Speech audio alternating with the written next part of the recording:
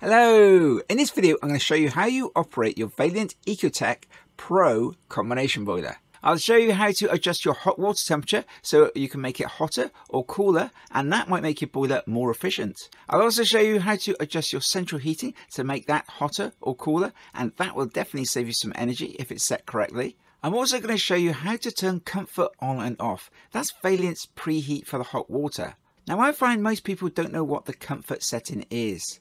Now you may actually have to setting turned on without you knowing about it. Now I always recommend having the setting turned off and of course in this video I'm going to show you how you go about turning it on and off which again may make your boiler more efficient.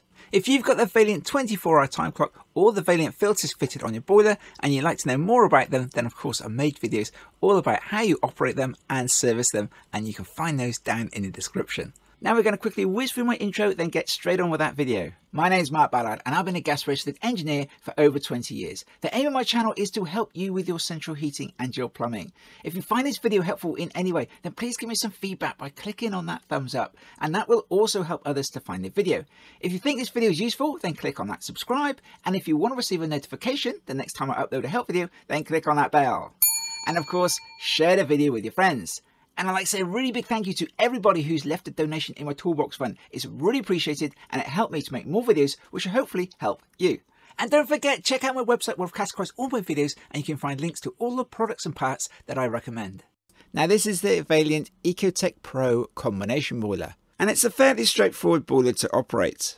Now this boiler doesn't have a clock in it, but you may have an analog clock or the digital clock. Or you may have a separate programmer like this Honeywell T3R. You can find the links in the description below.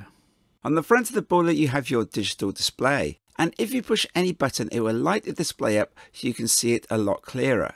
Quick note you'll need to press the button to light the display up before we can make any changes. So we have a picture of a tap here and we have a picture of a radiator here. Also on the front we have the temperature of the boiler and that's the temperature that the boiler is at now. There's a gauge on the side here and that shows you how much pressure is in the system I call it a tank and you want that black level indicator roughly in the middle, so in between the two dotted lines. And I'll show you how we adjust that in just a minute or two. If we want to adjust the temperature of our hot water, we push the button underneath the hot water tap. And if we want to adjust the temperature of our central heating, we push the button underneath the radiator. And then to adjust those settings, we would use the plus or minus buttons to change the settings. To turn this boiler on and off, all we need to do is press this power button here, and then we'll see the display go out. There we are, now the display is off and the boiler is off, and you can't get hot water or central heating.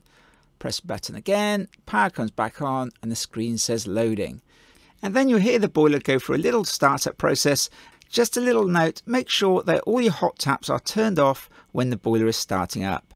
Now to adjust the temperature of our hot water, we push the button directly underneath the hot water tap and we can see on this boiler the water temperature is set at 55 degrees. Now if we want to adjust that temperature all we need to do is press the plus or minus buttons. Now if I press the plus button I can take this temperature right up to 65 degrees and once I've got that temperature I can then press the tick which will then set that temperature and then when I can press the back arrow which will take me back to the normal display. Now 65 degrees is really really hot water, that's scalding. I'm not sure when you'd ever want to turn it up that high, but the option's there if you want to. Now you can also turn your temperature of hot water right down to a much lower setting, right down to 35 degrees, and your water will coming out the tap just about warm. Then you press the tick button to set that, and then we can go back to our normal home screen.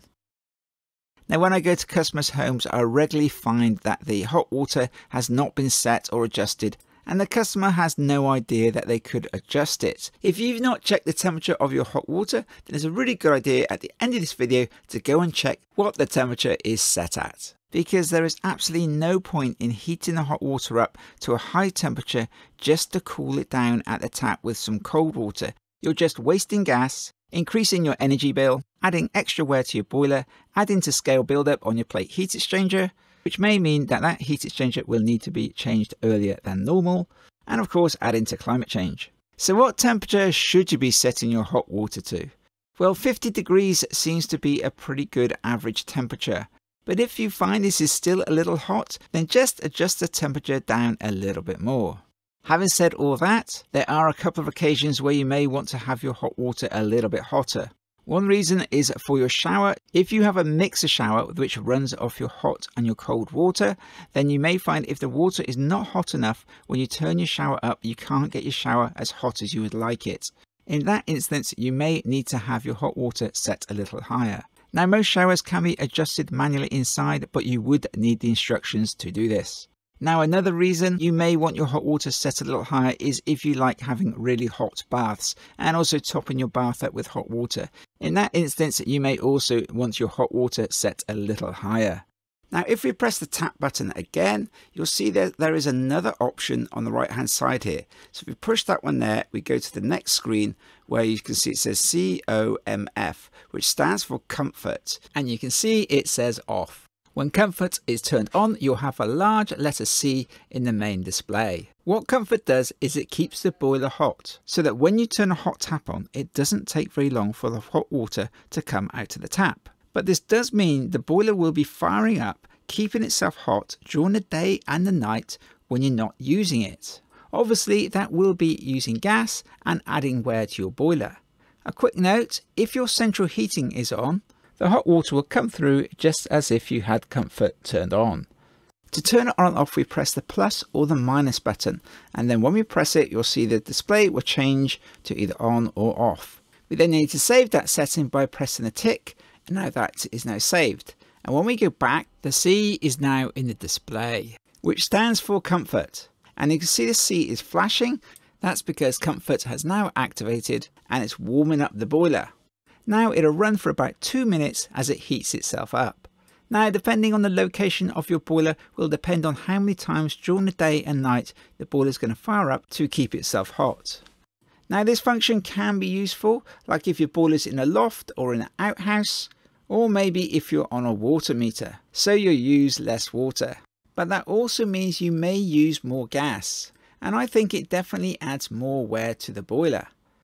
Now to turn comfort or preheat back off again, we press the tap button, we then press the top right hand button, and then we press plus or minus to change it to off. And then we press the tick to confirm that setting, and then we go back again to the main display. And now you can see C has gone away, so comfort is turned off. So that covers how to set up your hot water temperature. Now to adjust our central heating temperature, we need to press the button underneath the radiator. Now this temperature doesn't adjust how hot your house gets, that's the job of your room thermostat, but how hot your radiators get, which in turn will affect how hot your house gets. So push that button and you can see the display says 65 degrees. That's the recommended optimum temperature for your central heating on a condensing boiler. Now these boilers do work more efficiently if they're set at a lower temperature, so you could try pressing the minus button and turning that temperature down a bit, Providing your house stays warm enough for you, then that's great. You can set it down as low as you can get it. The boiler will work more efficiently and save you some gas. But when winter comes, you may find your radiators just aren't hot enough and you need to just turn that temperature up to make your house a nice comfortable temperature.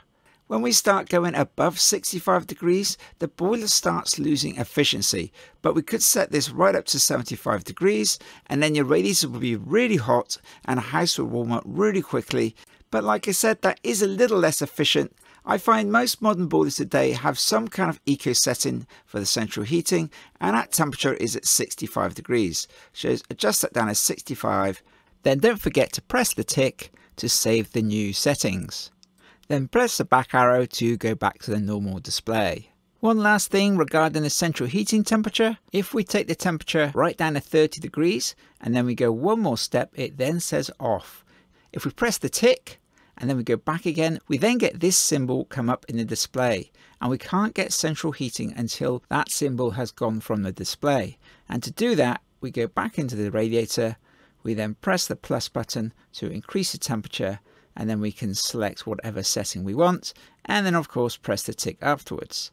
Now let's take a look at the pressure gauge or the filling tank as I like to call it. If we press the radiator symbol, it'll then change to bar and we press it again and then we get a more accurate reading of how much pressure is in our system. And you can see there it says 1.6 bar. Now the bar gauge on the side here shows you how much water is in your system and you want to keep your boiler topped up to roughly in between the two dotted lines. Now when the pressure drops on your system down to 0.6 of a bar, the display will start flashing at you, warning you to top up your system. When it drops down to 0.4 of a bar, the boiler will turn off, flashing the F22 fault, and then you won't be able to get hot water or central heating until you top the boiler back up again. To top the system up, you would go underneath the boiler and look for your filling loop. Now this is usually a silver braided pipe with two valves on it. And what we need to do is to open up both the valves and let the water into the central heating system. And then check our pressure, which should be around about 1.5 bar. If you'd like to have a more detailed explanation of how to top your boiler up, then I made a separate video all about doing that. And of course, you can find that in the cards above now or down in the description. Now, if you ever get a fault code come up in the display, now this is a F29 fault, which is the flame has gone out when the boiler's been in operation. Now, the only way to remove a fault code is to press this button here. That's the reset button, apart from the F22 fault, which I've already covered. Now, press the reset button, and then the boiler will restart, and then it says loading. It goes through a little startup process, then it's ready to use. Now, if you do get a fault code that comes up on your boiler, it is perfectly safe to press that reset button and restart your boiler. You can take a look in your installation manual and that will show you what the fault code means. But if the fault code does keep coming back, then it indicates that you do have a fault with your boiler and then you want to call a gas registered engineer to come and take a look at your boiler. Because if you are continuously resetting your boiler, then you may actually be damaging your boiler. So get it checked out by a gas registered engineer. I left the link in the description below which will take you to the gas registered engineers in the UK. So let's take a look at the boiler in action. So if I turn the central heating on, you'll need to do that from your room thermostat or your programmer. We'll then see the radiator symbol come up in the display. And then very shortly we'll see a flame appear in the bottom left hand corner. And there we go, there's the flame and then the radiator symbol starts flashing telling us that the central heating is now on and heating up. And we'll see the temperature on the boiler start to rise as it pumps the water around the central heating system. If I turn the central heating off, the radiator and the flame will go out. If I turn a hot tap on, we'll then see a tap come up in the display, we'll see the flame come on, and then the temperature on the front of the boiler will start rising quickly. Turn the tap off, the tap goes away and the flame goes out. And then you'll hear the boiler run for a little while before it shuts down. Now, if you have your central heating on and then you turn your hot tap on, you'll then see the hot tap come on, start flashing, and the radiator symbol will stop flashing, and then the flame will come on, it'll start heating up your hot water, and then when you turn your hot tap off again, it'll go back to the central heating. So whenever you're using your hot water, the central heating will not be being heated because the boiler only heats one thing at a time and the hot water always takes preference over the central heating. Just bear that in mind so that whenever someone's using the shower or the bath for a long time, the heating will not be on at that time. So a little careful planning might be needed if you want a hot house and have hot showers. Right, that's about it then. So I do hope my video has been helpful to you. If you want to watch my next video, then you can click on the link just here. And if you found my video helpful in any way, then please give me that little bit of feedback by clicking on that thumbs up. And like I said, that will help others to find your video. And if you enjoyed the video, then you can click on subscribe. And if you want to receive a notification the next time I upload a help video, then click on that bell. And of course, share the video with your friends. And if you want to buy me a cup of coffee, I'd like to say a really big thank you to everybody who's left a donation in my Toolbox Fund. It's really appreciated and it helped me to make more videos, which will hopefully help you. Bye for now, and I'll see you next time.